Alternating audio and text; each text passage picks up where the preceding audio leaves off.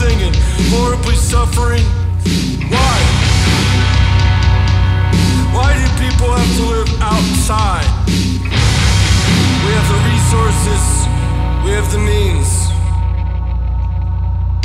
means.